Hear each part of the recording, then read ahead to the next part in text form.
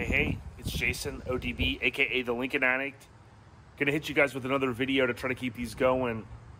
It's Saturday morning here in Lutz, just north of Tampa, and I'm gonna give you guys a couple of updates. A couple of people have commented on stuff they wanted to see more of, so thanks for doing that.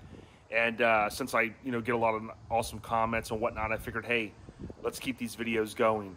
So uh, let's jump right in one of the um, the last videos I did, I talked about doing the Pertronix. Knock on wood, that has worked fantastic. Okay, I went through like kind of a two part um, video, a little bit longer, but I tried to give as much detail as possible. And um, I think the last video I kind of showed my 67, and then I showed a little bit of my 64. But the thing I wanted to hit upon today was someone had asked about bypassing the expansion tank that's right here. So depending on who you talk to, most people will say you don't need the expansion tank right here. And my friend had a 96 or 97 Chevy Dually back in the day. And um, what he did was he basically did this bait, this setup where you um, you need to have a filler, of course. So you can go to, like I went to Summit and if I remember correctly, a guy, Pat Tien, who we've had on the podcast, Pat's a great guy. Many of you know him. He has a YouTube channel. I'll put a link in the bio. He does very cool stuff.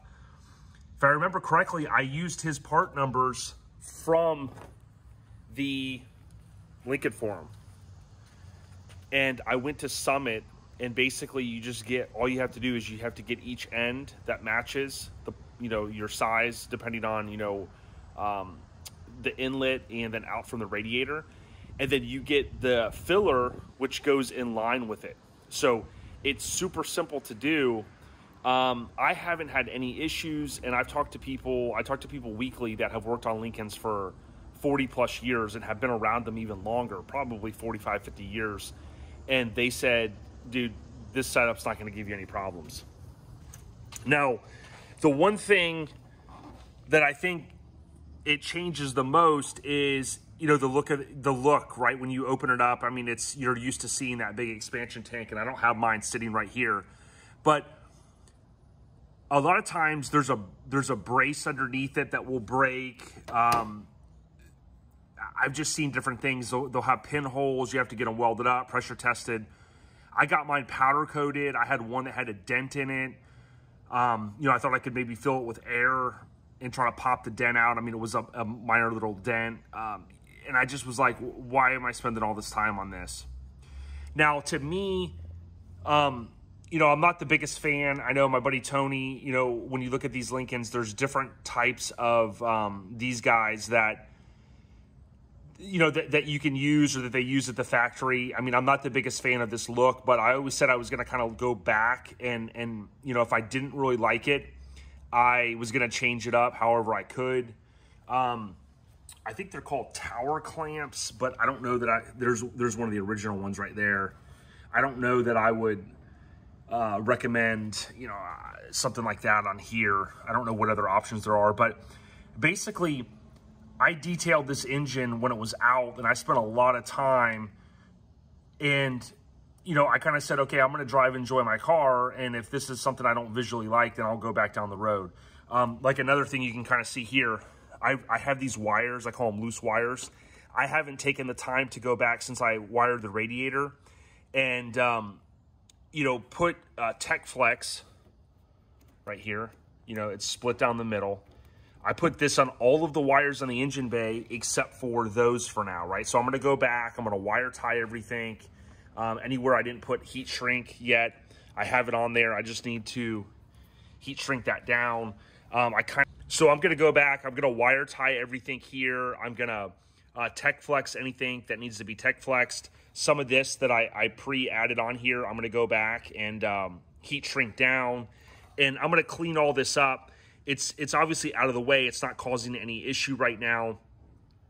Uh, another example of something I need to do is this wire right here.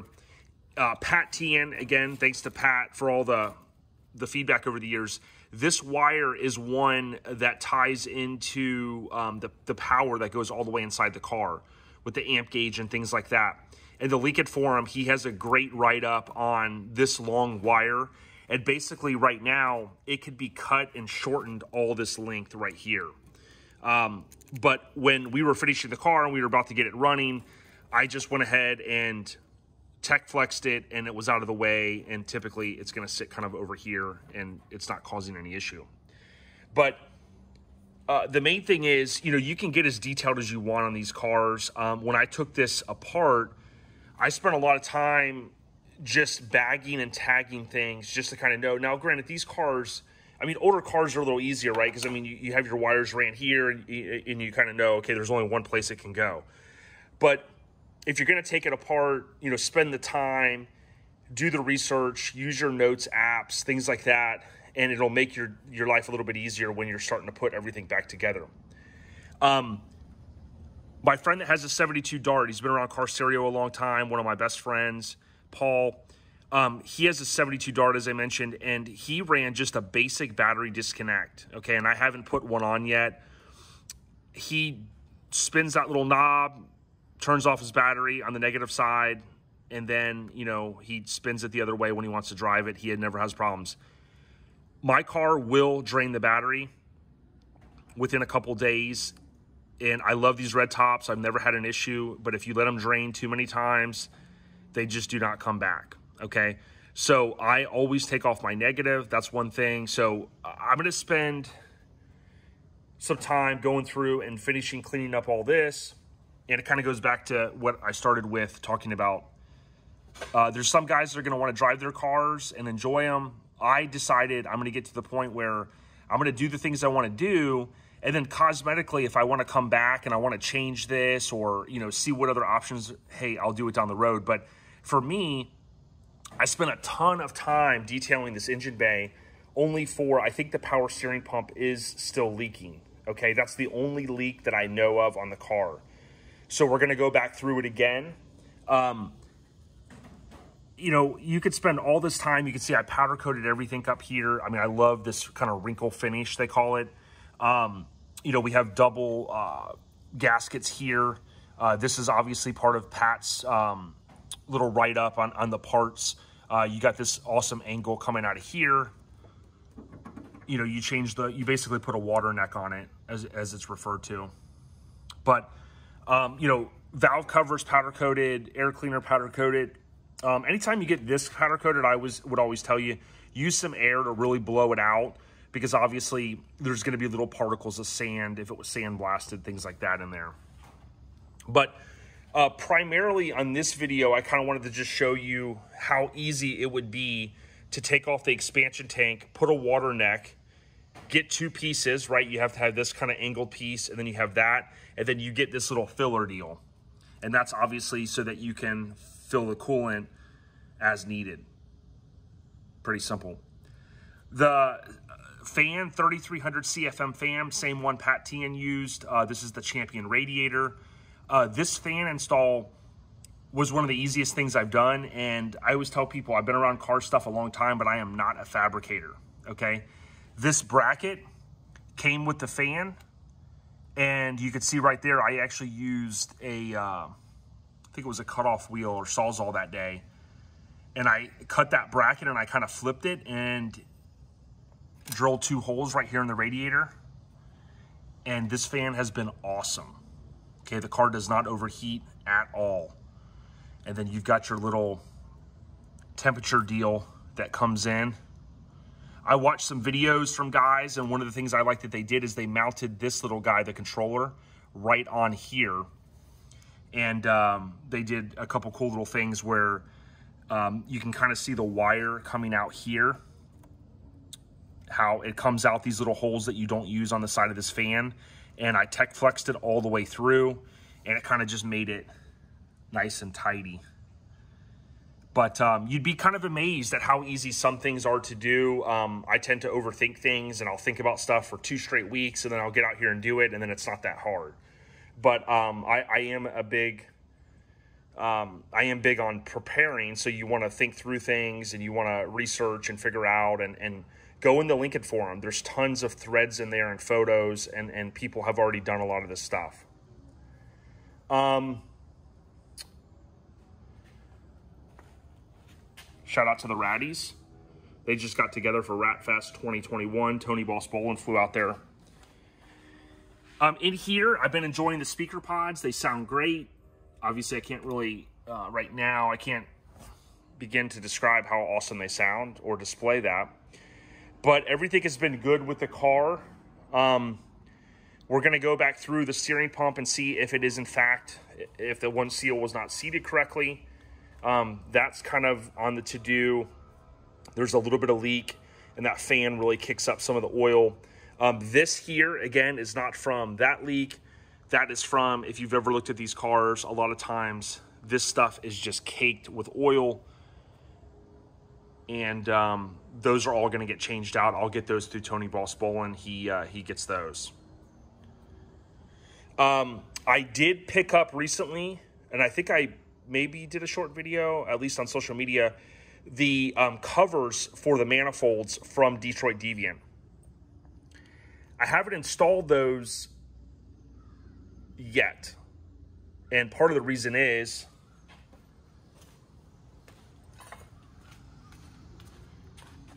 I, over the course of time, changed to the 67 booster that was redone by Booster Dewey, and it has the dual master cylinder. However, when I did all this stuff to get the car going, didn't have the foresight to think, um, okay, how am I running these brake lines? How will it impact me? This line right here is fine. This line over here in the front comes straight down here is in the way of that valve cover or that uh, manifold cover, excuse me, how that's going to go in here. So the plan is instead of, you know, getting frustrated, it's like, okay, well, when I upgrade to disc brakes in the front, we could run that line differently. You know, we could have it come out underneath and over uh, at a nice 90 or something to, to get it out of the way. So those are back there. Haven't installed those yet. And this paint, this manifold paint is held up. But I'll tell you, this paint here on the heads, uh, we spent a good amount of time preparing the engine. It's painted all black and everything, but we've used a digital thermometer before and it gets something like 600, 700 degrees right here. So that paint um, is just, you know, it doesn't hold up there. I did run these boots, as I mentioned in the video with the Pertronix. I love those things. Um, the last couple things I'll hit on, so this video is not too long, you often see people that will get by a Lincoln and they pop the hood and people will, like John Cashman will comment and say, you've got the wrong fuel pump. The fuel pump that you want to have is a three port. It has a port here where the fuel comes out into the fuel filter and into the carburetor. You have um, the fuel comes in here from the tank. You have your mechanical fuel pump. There's a couple videos out there where that little rod in there is going up and down. That's what builds the suction. And then you have over here is the return line. So you basically have two right here. You have the smaller one, you have your return. Uh, from here all the way back, I redid, I rebent these lines all the way back. And I think I have a video, if not a video, it's in the Lincoln forum on my build thread, Project Smugglers Blues. Um, that wasn't as hard as you'd think. I made a, a, both lines all the way back. These are new lines, these rubber lines, but you want to have a three-port pump. You have to have that. Uh, you'll hear the word, the V word, vapor lock. I had vapor lock a lot, and I think a lot of it was due to the, the radiator was probably heavily clogged, but uh, it builds so much heat in this engine bay, the two ports just don't, it doesn't, it's not enough. Your only option is a three port, or if you do some sort of electronic fuel injection type system, which there's plenty on the market. So there's that. And then last but not least, if you're ever going to redo your convertible top, you need to get the new wiring. This wiring used to be about 175. I don't know if it's went up. I think I've seen it anywhere from 175 to 225-ish. Uh, this is a um, a replicated harness that goes through the top. Okay. I don't know anyone that would ever change this without redoing the top. Jim Wallace and other people, they make the new uh, canvas or the new material top, and I think it's around a $1,000 with a few of the accessories you need. During that installation, you would have a professional or yourself install this wiring, okay? So that's something that if you have a convertible, mine, knock on wood, works really good, but obviously once I redo the top, it would be dumb not to redo this, especially for only a couple hundred dollars. This is one that I got um, that Tony had extra. So I picked this one up off Tony Boss Bolin and uh, I just put it in this bag to kind of protect it a little bit. The biggest issue that I've heard of is you'll go to a quote, a convertible installer, uh, you know, material installer type uh, interior shop, and they will sometimes put staples through this. Okay, it's a it's an intricate I guess, process. And anybody that's done it a few times, I'm sure that they're going, hey, it's easy. But for the average guy or lady that's never done this type of uh, convertible top, I would say, you know, be cautious on who you have do your top. Um, there are some options. I think that's going to continue to grow in the Tampa Bay area for these, um, including our friend TC. I know Jim Wallace comes down here sometimes, and he's kind of uh, trying to retire, from my understanding, a little bit. He doesn't really want to do the installs as much, so uh, more on that. But I'll try to do a video once all of this is uh, ready to go.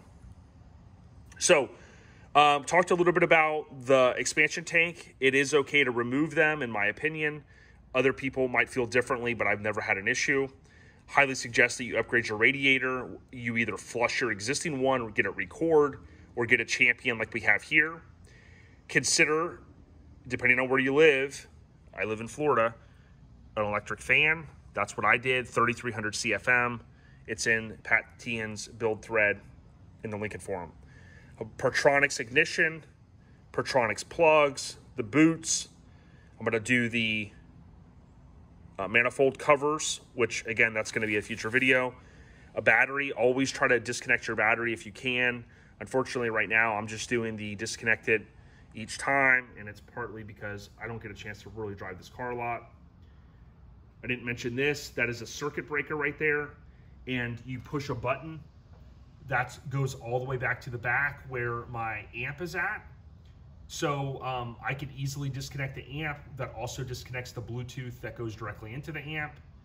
You can push that button and you got no power. You can click the little lever and then the power's back. That will also go back to my compressors, so I'll be able to cut off. Got some really high-end wire that I ran back there. All right, so a couple different subjects covered. It's kind of a mess in my shop right now, but um, I look forward to many more videos. I've got some big things in the works. Lincoln Addict, I'm working on a new episode, and uh, all is good. So if you love this content, subscribe, consider subscribing. Leave a comment, leave a thumbs up. It really helps me. About 300 and almost 350 subscribers. Want to definitely grow the channel. Check out my other podcast, our lifestyle podcast, also known as OLP. We have weekly shows there. I'm really regimented. Uh, and then we also have our lifestyle podcast YouTube channel. So I do a lot there. And I'll show you some behind the scenes in a second. want to give a huge shout out to the Raddies. Tony Boss Bolin brought this one back for me, so I appreciate him. The Raddies. All right, lastly, no, nothing's going to be hurt here on my deck lid. If you've got a Lincoln, you've got space to put stuff, unfortunately. And whether you think I'm crazy or not, I've got a few things back here. Uh, my car, I love that it has this kind of oxidized original um, feel to it. Okay, this obviously looks a lot better. I've never polished this car. There are a few little things that will eventually need to be, you know, remedied if, and I guess really when I get a paint job on it. But uh, on the other channel, I spend a lot of time going through my other passion, which is trucks. Um, Street Trucks first issue 22 years ago this month, August. Um, I write a monthly column in Street Trucks which is towards the back. You know, the back towards the back of a magazine is always the uh, the good stuff. So you can always kind of flip to the back and then you'll see it in there, our lifestyle. Um, yeah. Look at that. Mini Trucking Magazine, issue number one, 1988. That's a rare one. But it's a little behind the scenes. I'm working on some display cases that will tie into my Lincoln Passion. Here's a mini trucking one. Here's some magazines. What are some of your favorites? These are extras. Some of the skate decks. This is my S10. You may be seen it in one of the videos I've done. Talking about the rear bumper inserts. And of course, I grew up in the 80s. I love BMX.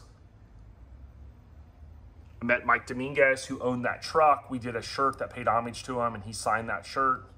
Spring Fling, I think that was um, one of the last ones I went to. So yeah, I love Lincolns, but I love other stuff too. Shout out to the Raddies. Thanks for watching. We got you.